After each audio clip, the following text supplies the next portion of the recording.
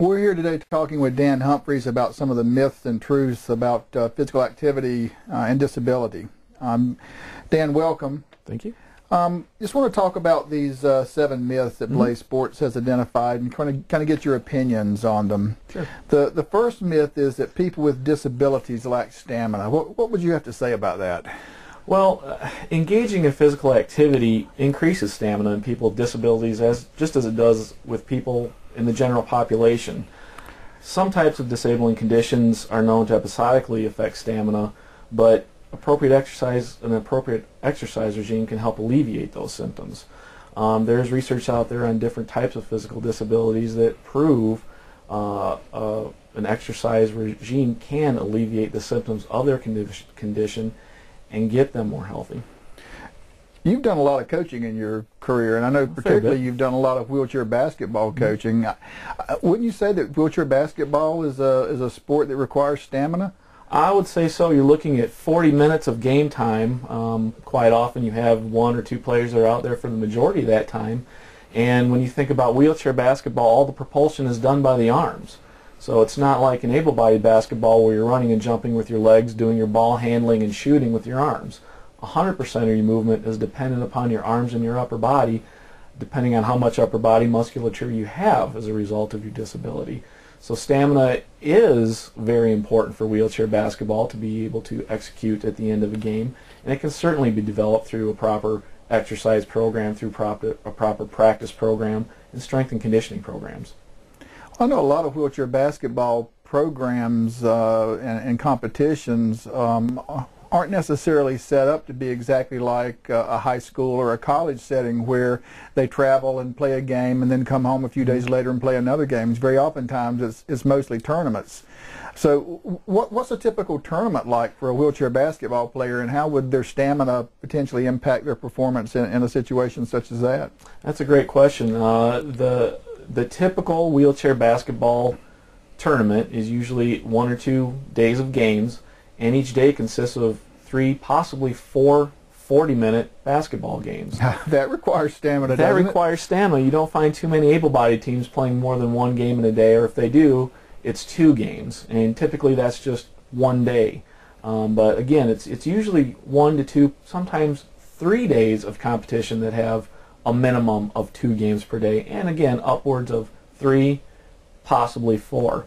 Um, so that, that does require stamina, not just for those 40 minutes, but it requires preparation leading up to that weekend, uh, proper nutrition, proper sleep, making good decisions for that whole week before to prepare your body to go through that grueling effort, being smart between games, hydrating, making sure you're taking in nutrition between those games so that you can put the work you've done to create that stamina to use time and time and time again throughout that tournament.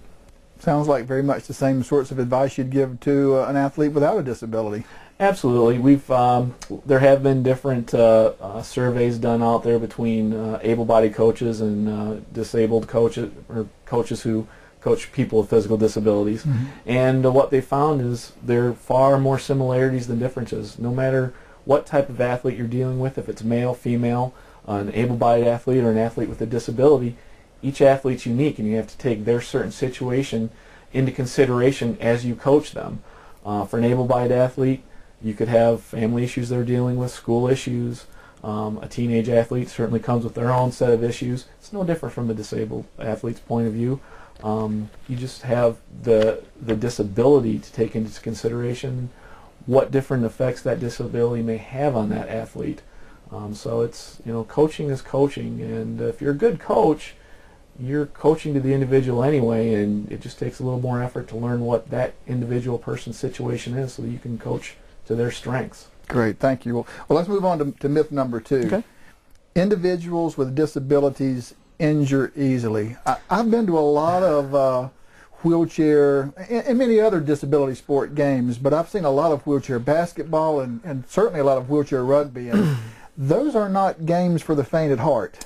Uh, no, there's uh, even in wheelchair basketball, there's a lot of contact. Uh, um, we don't like it when someone watches a wheelchair basketball game and compares it to gladiators or a rugby game, but it happens. People fall out of their chairs. There's contact. There's hard fouls. Um, people do get knocked out of their chairs. Um, when you're talking about rugby, obviously that's a, virtually a full contact sport, chair to chair. And in rugby, we're talking about people who um, are quadriplegics. Uh, they have limited function basically from their neck down, and they get knocked out of their chairs and they hit the ground. And I, I've seen really in my 12 years of experience, um, anecdotally, I've seen no more incidents of injury in wheelchair sports than I have in able-bodied sports. So it's possible for a wheelchair athlete or an amputee athlete to become injured, but are, are they any more susceptible to injuries than the able-bodied athlete? There are particular conditions that could make them susceptible to injuries. For instance, athletes with brittle bone disease.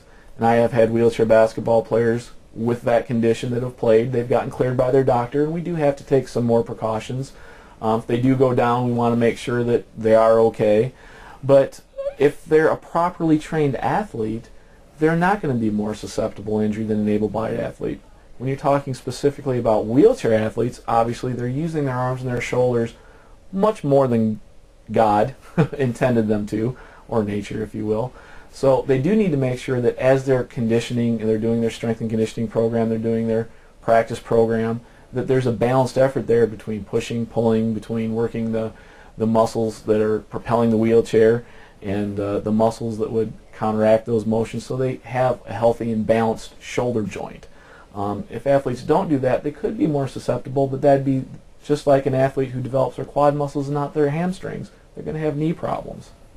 So it, it certainly sounds like what you're saying is that a wheelchair athlete that plays a sport like wheelchair tennis, for example, or maybe does road racing, does have the possibility perhaps of overuse injuries to their shoulders or, or perhaps their elbows or even their wrists and hands.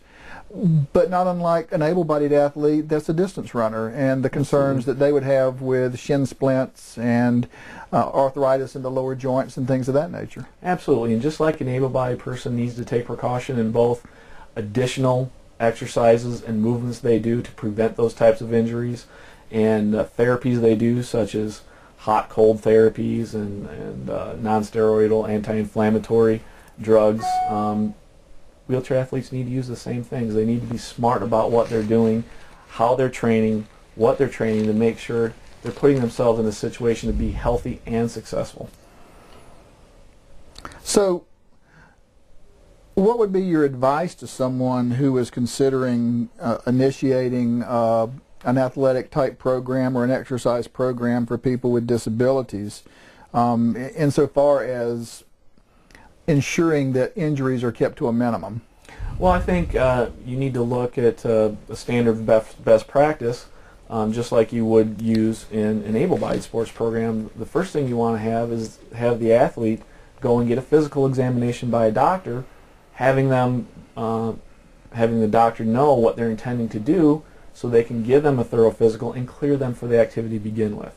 And then if they're cleared for the activity, the current state of that athlete needs to be taken into consideration by the coach or the program administrator so that they can be brought up physically, physically to the level they need to be to possibly practice or to compete. Every athlete's going to have a different starting point, just like every able, able-bodied athlete does. Everybody can't start at the same pace. It needs to be individualized a little bit to keep them safe. And if an athlete does have some precautions um, that a doctor notices, there again there are exercise programs that can counteract that and get them up to a level where they can be released for a sports program. So it's all about being smart, being safe, and doing doing what's basically what common sense says. Get cleared medically, see where you're at.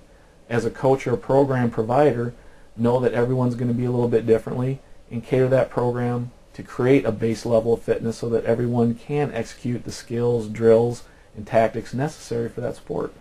So again, it sounds very basically like the the recommendations you'd make for working with athletes without disabilities. Pretty much. Really, the only caveat is you do have to know a little bit more about disability, a little bit more about the individual, and uh, people with disabilities, um, they're competitive just like anyone else, and just like an athlete's an athlete, and they want to hide sometimes certain aches, pains, or injuries.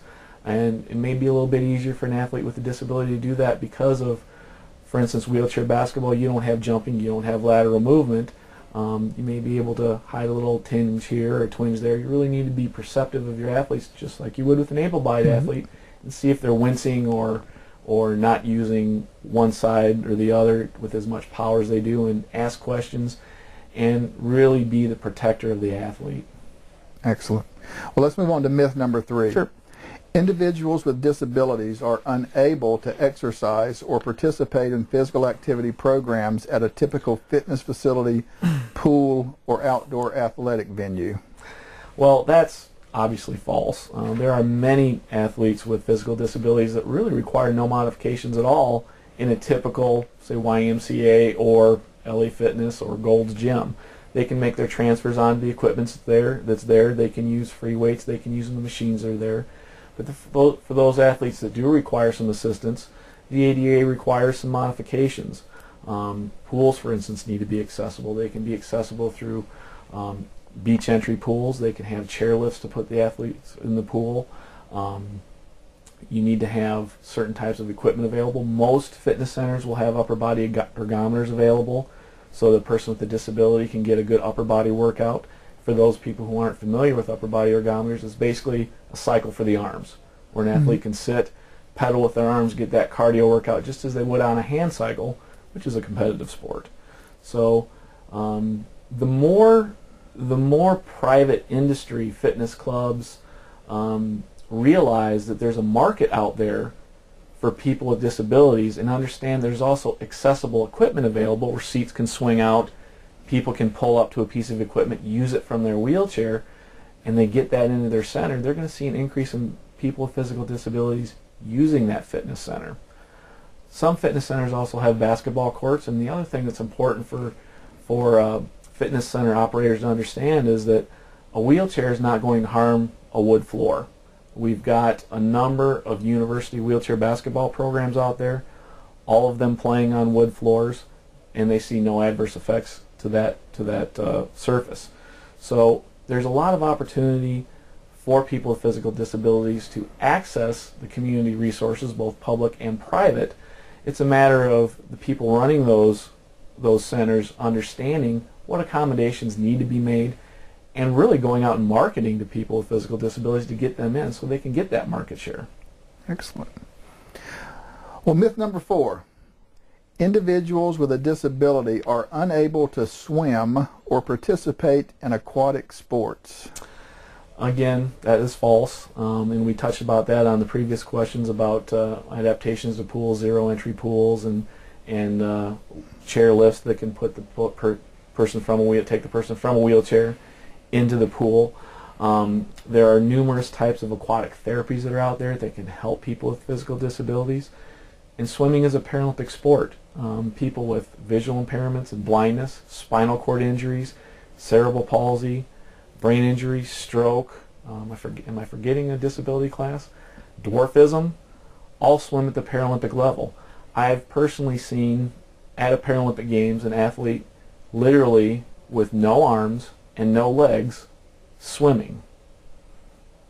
Now that's pretty amazing. He has to actually hit his head to finish a race, but he's out there swimming. Now, if a person with no arms and no legs can swim, certainly someone who is a paraplegic, has use of their arms, or a quadriplegic with limited arm function can swim. One of America's most decorated swimmers, Curtis Lovejoy, is a quadriplegic and at over 50 years of age is still setting world records in swimming. So from a competitive standpoint to a recreational standpoint to a fitness standpoint, swimming is available to a multitude of people with physical disabilities, and it's a great therapy and it's fun. Um, one of the things that uh, many people, a lot of aquatic therapists like to use is a slogan they like to use is "We're all equal in the water." Um, additionally, um, getting to different types of water therapies, people with phys- physical disabilities can scuba dive. Um, that's something that surprises a lot of people, but what's even more surprising is someone has actually come up with an apparatus to allow people on ventilators to scuba dive. I'm not sure I would want to do that, but that's where the ingenuity is, and that's what's possible for people with physical disabilities. Well, I know in, in all of your years in working with Blaze Sports, you've had opportunities to uh, to go to junior nationals and to, to participate in various Blaze Sports camps and things of that nature. And I'm sure you've seen firsthand some of the kids at the Blaze camp that have uh, have oh. done have done uh, scuba diving yep. in the pool down in Warm Springs at Absolutely. the Roosevelt Institute. And I'm sure you've seen all the wonderful swimmers in uh, in Tampa at the Junior Nationals. Absolutely. Uh, there's just, uh, you know, it, it's amazing when you see a competition pool, and around that competition pool, a hundred plus kids, and they're crawling, rolling, walking on prosthetics, taking them off before they uh, get into the water, and then watching them compete swimming. Um, you know, it's it's uh, it's a great sport. It's a great cross training activity too for other sports. Mm-hmm. Um, and uh, really, you know, when you think about it, swimming is something everybody should know how to do. You never know where you're going to end up in water, and it can save your life. So everyone needs to learn how to swim, regardless of ability. Excellent point. Let's move on to myth number five. Individuals with a disability require assistance to participate in sport or physical activity programs. To some extent, that's true, um, obviously, but everyone needs assistance. You don't just throw someone in without any instruction on how to use equipment or how to execute tactical skills.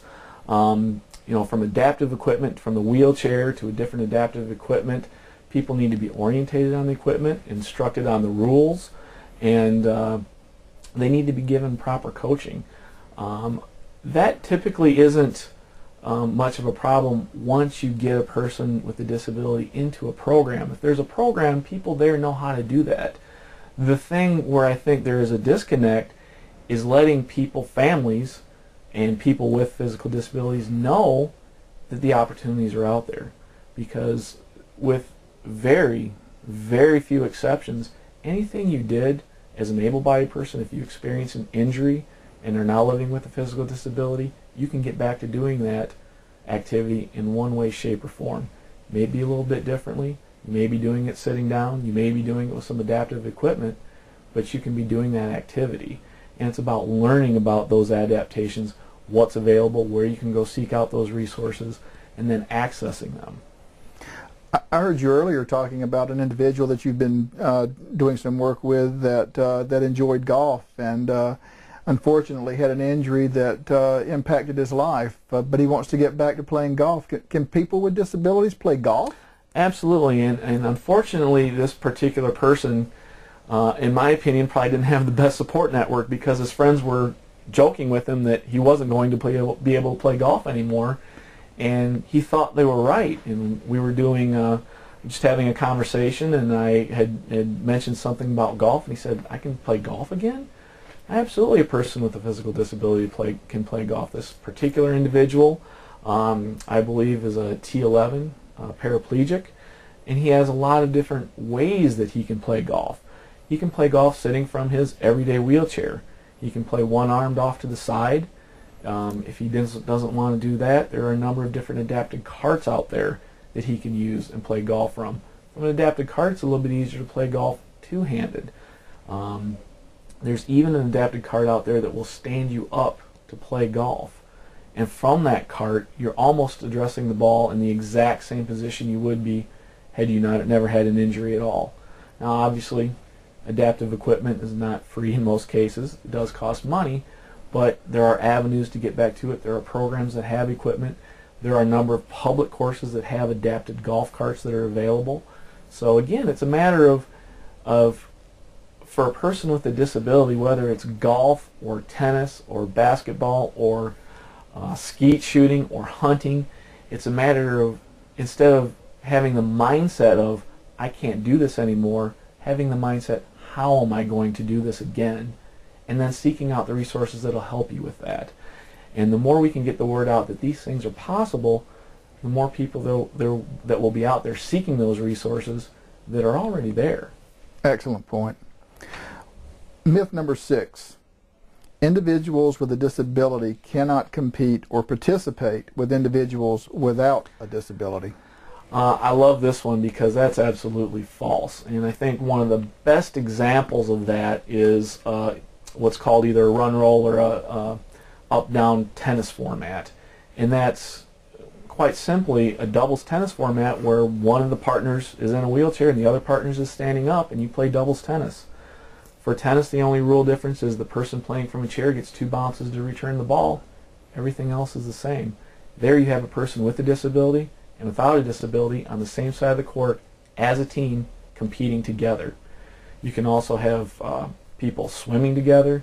You can pe- have people racing together. One of the memories I think I will take to my grave is from a junior nationals.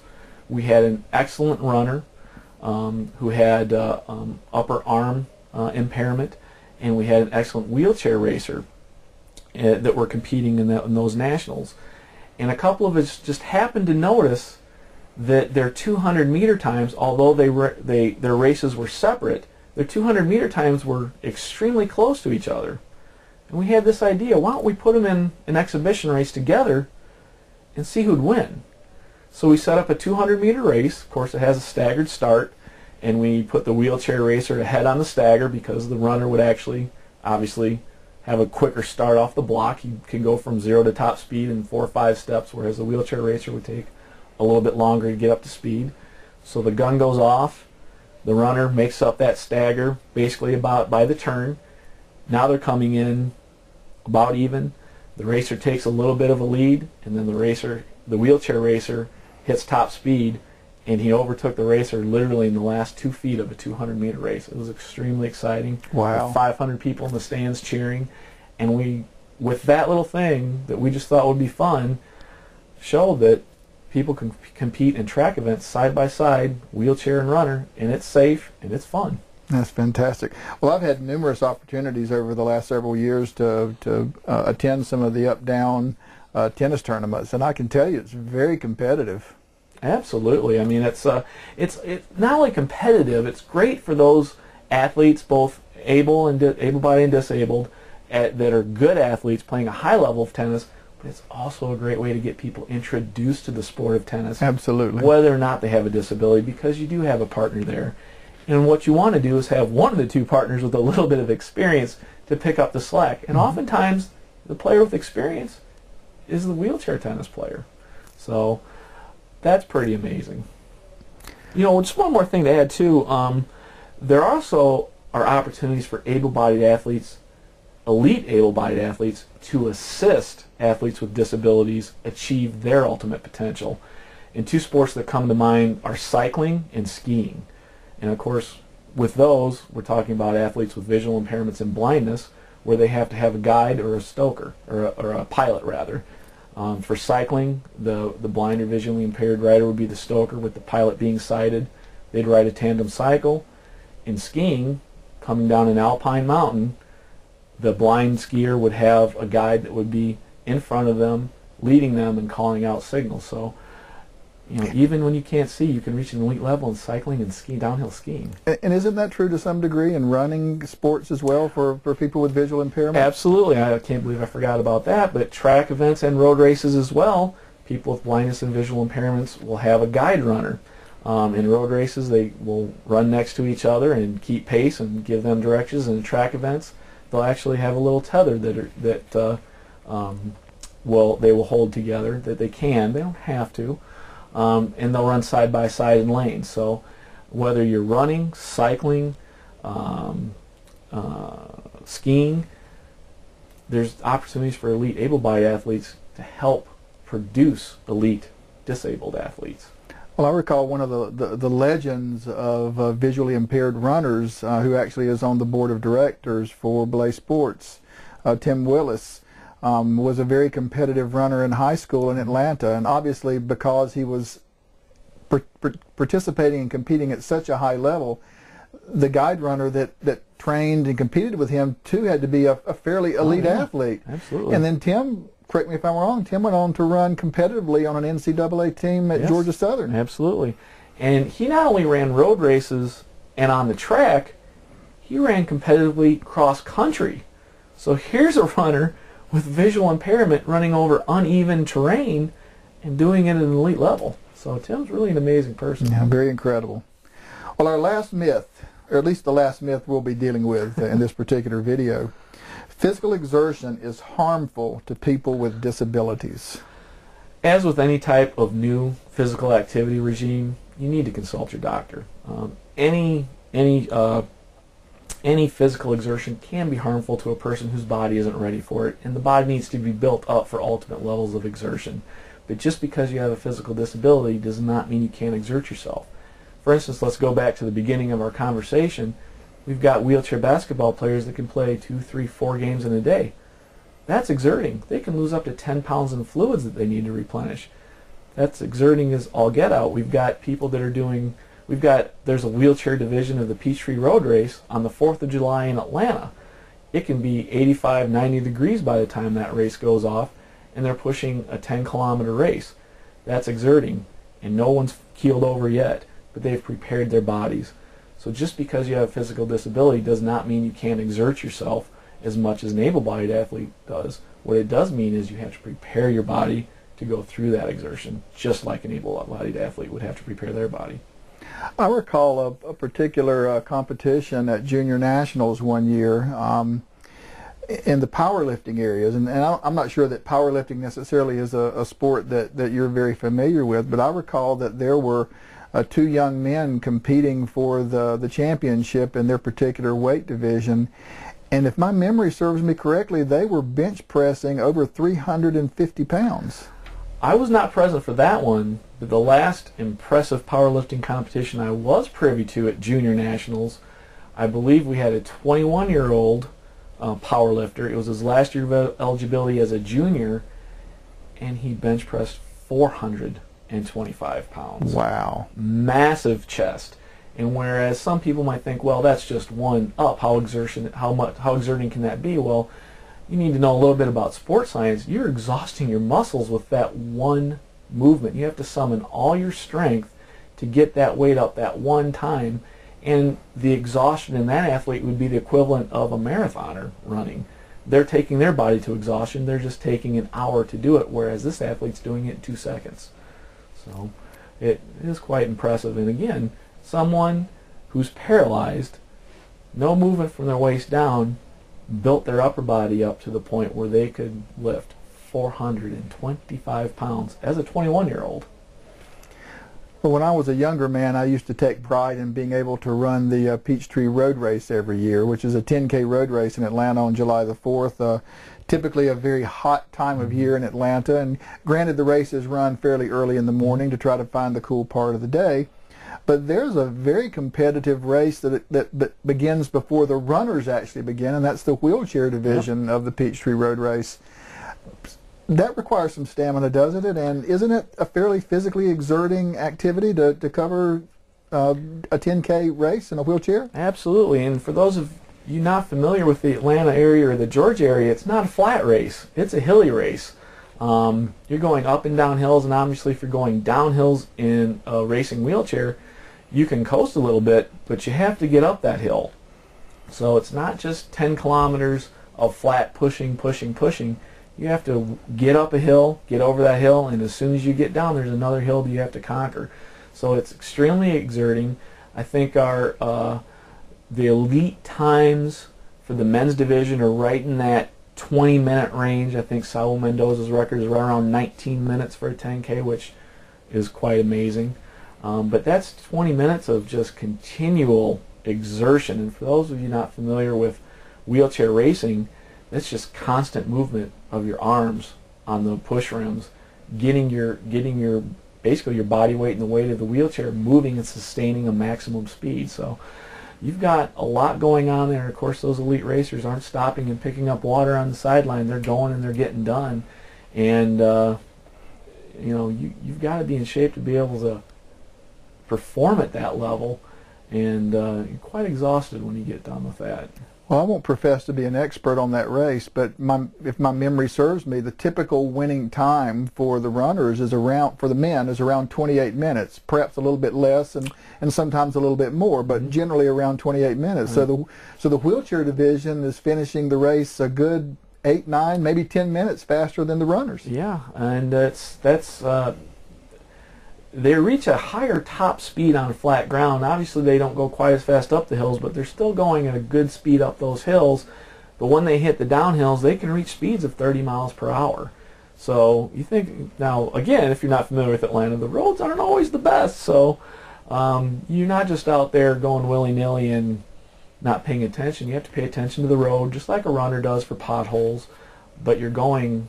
I'd say the elite runners are pushing around 15 miles per hour, I think, while they're running, maybe 16 at some points. And again, the wheelchair racers can hit up to 30 miles per hour. So very high speeds.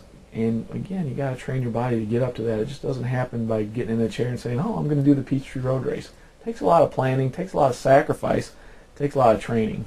It takes the same dedication the elite runners have. Well, again, it's been a number of years for me, but I guess my two biggest memories of the of the various races that, that I ran, and I wasn't running them competitively. I was running them more just to, to, to run the race. But the two things that stood out the most were the Heartbreak Hill, which mm-hmm. is really a very long uphill right in the middle of the race. It's almost a mile. Yes. If I remember the time I ran it. uh, my best recollection is that those runners in the race that managed to get ahead of those that were a little bit fitter, we would be running to the hill and all of a sudden we'd look in front of us and there were numerous people walking up the mm-hmm. hill. So that's the same hill that those uh, athletes in wheelchairs have to, to conquer and if they don't keep pushing the wheel, they can't just stop. They have they, to keep pushing right. the wheel or they roll downhill. They'll go right? backwards. They uh, yeah, exactly. You don't uh, as a runner you do have the option to stop, stand still on a hill, walk up the hill wheelchair racer really doesn't have that option. They need to keep those arms going to keep forward momentum because, you know, it is possible to stop on an angle and just hold yourself there, but you're still holding yourself there and exerting force, which is going to tire your muscles out, and you're just not going to make it up that hill. And we've got athletes. We've got uh, uh, the wheelchair division has um, classes for paras and quads, so they're actually quadriplegics and for those of you that may not be familiar, that doesn't mean they can't move their arms. It means they have limited function in their arms. They're getting up that hill and over that hill and making it the whole 10 kilometers to the finish line. Well, one of the things that I, I spend a lot of time trying to teach my students about the biomechanics of sport is that gravity is always fighting against you and it never ever turns itself off. So fighting that hill is a, is a fight against gravity. Yep. The other thing that always I, I, rec, I, I, remember fondly of, of, the of the race, much more fondly than the hill, is then getting into the park, and then it mm-hmm. becomes a very flat area for the most part mm-hmm. within Piedmont Park. And I would have to assume that that's where the race really is, uh, if, if it's close, uh, after having traveled the better part of six miles. Yeah, you really there. There's actually two components to that part of the race. You do have a good flat section as you're approaching the park, and depending on what your body type is really depends on where you need to be because the last portion of the race is downhill. Now, people who have smaller body frames have a better power weight ratio and will make it up the hills faster. But as you said, gravity is always working, and when they're coming down the hills, you don't want to be a light racer next to a heavy racer in head to head because the heavier racer is going to take advantage of that gravity and get down that hill faster than you are. So you if you're one of the lighter racers, your strategy really has to be to get up those hills fast and create a lead before that final downhill. Otherwise, you may be watching someone that's a little bit bulkier pass right by you at the finish line.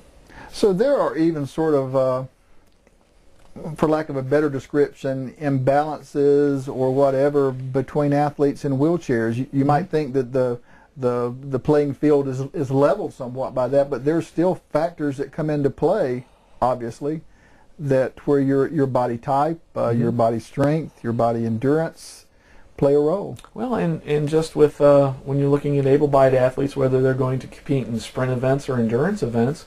Uh, do you have fast twitch or slow twitch muscles? I mean, you, that's going to dictate whether or not you're going to be a track athlete and concentrating on the 100 through the 800, or you're going to be a distance athlete going 800, 1500 up through the 5,000, 10,000 in marathons. So, for a wheelchair racer in in the in, in Peachtree, if if their forte is much more being the endurance mm-hmm. athlete as opposed to more of the power wheelchair athlete, they better have a good lead coming into the park because you can assume that with the downhill and with the more power oriented racers, they're going to really be coming on. Exactly.